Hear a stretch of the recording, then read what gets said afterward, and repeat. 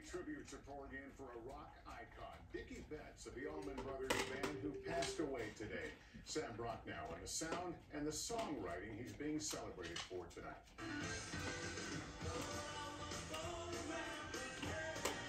You might say Dickey Betts was born to play the guitar, and his music the stuff of Southern rock legend.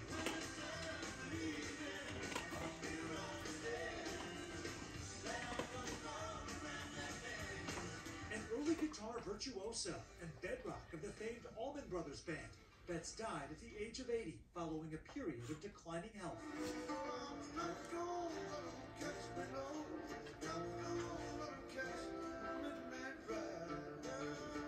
His Hall of Fame guitar skills and songwriting spawned timeless tunes.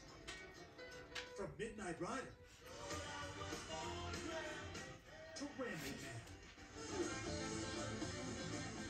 a kindred spirit in Duane Allman, who, along with brother Gregg, created a group that would reshape the genre of Southern rock, blending blues, country, and jazz. They were also touched by tragedy, Duane Allman dying in a motorcycle accident in 1971. Tonight, Betts' loved ones sang Dickey was larger than life, and his loss will be felt worldwide.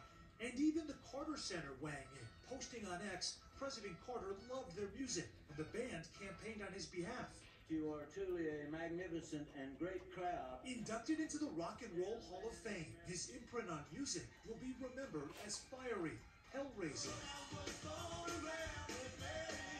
and forever a rambling man. Sam Brock, NBC News. And that's nightly news.